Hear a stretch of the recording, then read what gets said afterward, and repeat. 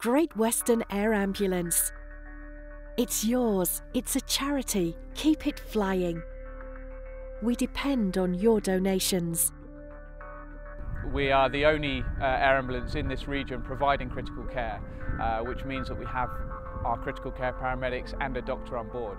With the um, ability to get to the scene straight away and they had all the specialist equipment, they managed to save my legs. So the Great Western Air Ambulance um, is really vital to the people of the Southwest. Now, they're already very well served by the NHS and by the ambulance service that uh, is provided by the NHS. Um, but what the Great Western Air Ambulance and the critical care team here provide is an enhanced level of care. Um, so because we fly with doctors and critical care paramedics, it means that we've got additional drugs and additional interventions uh, that mean really we can bring the hospital to the patient. Volunteers are the lifeblood of the charity. It's so important um, that they go out, to promote the charity, collect for the charity. They did more here so that when he got into hospital they didn't have to do even more, saved his life basically. Each year the Great Western Air Ambulance charity needs £2 million per year to survive.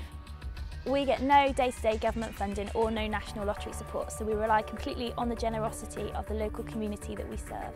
Essentially, we are a flying accident and emergency department that brings the hospital to patients.